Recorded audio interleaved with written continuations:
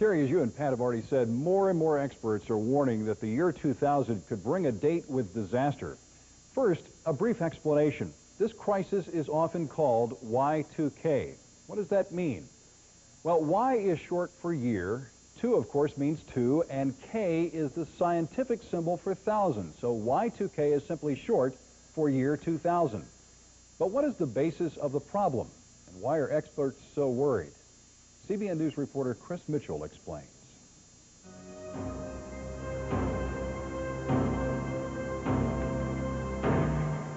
It's been called the world's most important extermination job, eliminating the year 2000 computer bug. It's just an extremely, extremely serious and extremely dangerous situation. The dangerous situation is a simple problem, but it's nearly everywhere. When the computing era began, computer memory was very, very expensive. So to save money, computer programmers used only two digits to identify a year, like 97, 98, and so on. But the problem is that when the year 1999 turns to 2000, many computers and computer chips around the world will think it's 1900, not 2000.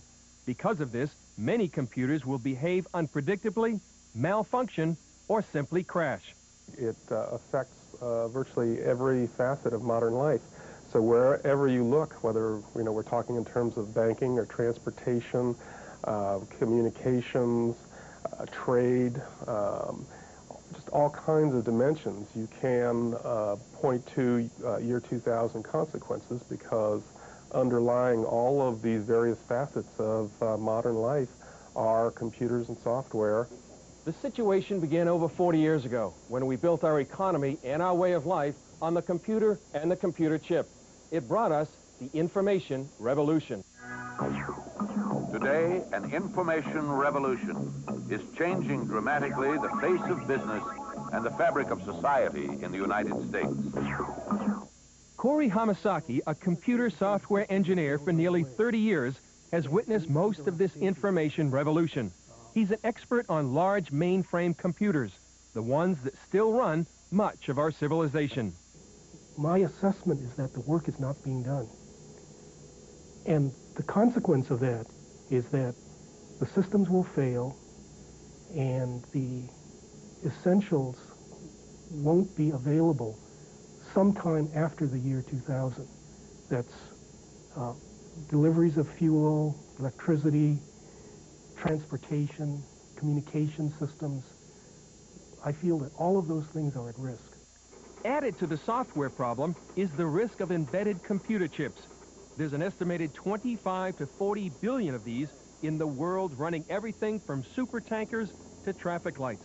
And they're used in machines throughout factories, the phone system, utilities like power, water, and gas. They're virtually everywhere. Some estimate 1 to 10% of these embedded chips will fail, and that could cause those factories, phone systems, and so on to fail. What compounds the impact of the year 2000 computer problem is the interdependency of our economy. One part affects the other. It's a completely connected system, a system of systems. And if one part of it fails, none of it works. For example, we all depend on electricity from power plants. The power plants depend on the railroads. The railroads depend on telecommunications. Telecommunications depend on power plants. They all depend on computers. If one or more parts fail, they're like technological dominoes rippling throughout the economy. In the year 2000, every sector could suffer simultaneously. Last year's UPS strike is only a very minor example of what could happen. The impact of the 15-day strike by UPS cascaded throughout the country and affected thousands of businesses. It's going to have a, a, terrible effect on our business. The auto industry is another example of interdependency and the year 2000 problem. The big three car makers are working hard to fix their computers and computer chips, but they depend on many suppliers. GM alone has 100,000 suppliers worldwide. If one supplier fails to be ready for the year 2000, it could shut down the entire assembly line. Stephen Davis sees the interdependency of local governments. He's working on the year 2000 problem for Montgomery County in Maryland.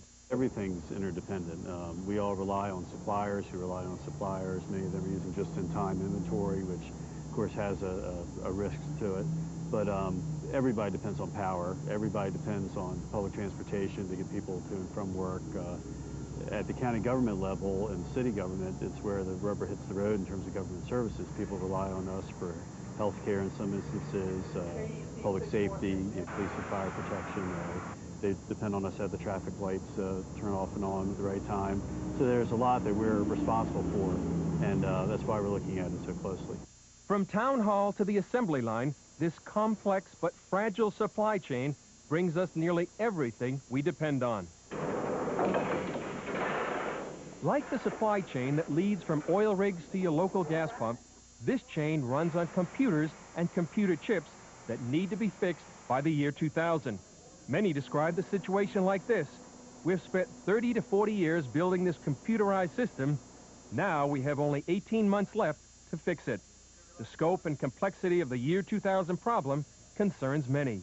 What we've noticed is the longer someone works on the year 2000 problem and the more involved and the more research they do, the more concerned they become.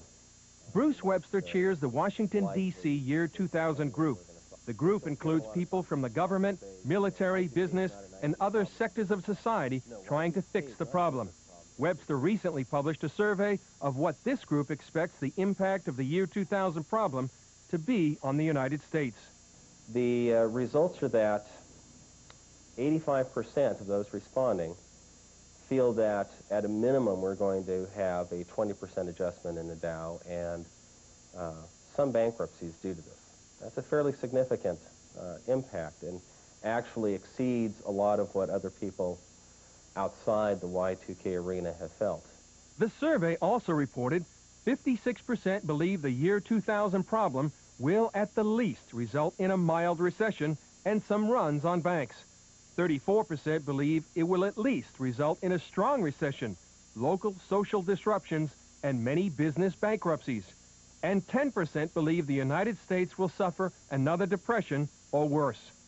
Few expect the world to stop on January 1, 2000, but the many disruptions to the economy could affect us all, like thousands of Lilliputians tying down this Gulliver of an economy. Then why not just fix the computers? Despite the billions of dollars already being spent by government and business, there's simply not enough manpower and time to fix the problem. That's why many believe the human element, not technology, may be the most important part of the solution to the year 2000 problem. In the end, it's not the technology, it's the human factors. It's how people choose to act and react. It's the leadership we have, and it is the how people will behave in the event there are interruptions in power, in supplies, in everyday life.